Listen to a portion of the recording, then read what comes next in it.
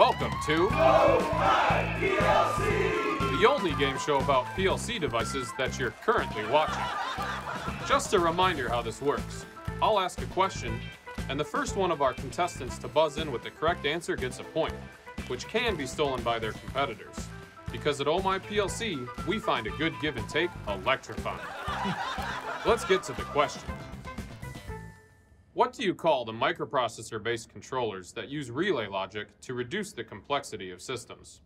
A. Relays, B. Nano PLCs, or C. Nanopods? I'm going to use some logic here to reduce the complexity of my choices and say C, nanopods.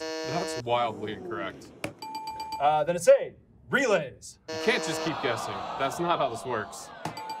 Pretty confident it's B. Nanopods aren't a thing, and though relays are a form of logic, they aren't the specific microprocessor-based controller you were looking for. That is correct. Here's Asma with a try to steal.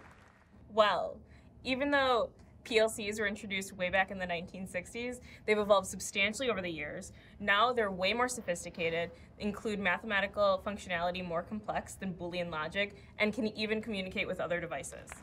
While all of that is in fact true, I'm not sure any of you are clear on the concept of a steal. Judges? Asma with a shocking victory this round. We're going to take a station break and return with the next round of Oh My PLC! This video was brought to you by Eaton's Easy E4 Nano PLC. Visit eaton.com slash easye4 for more about the product.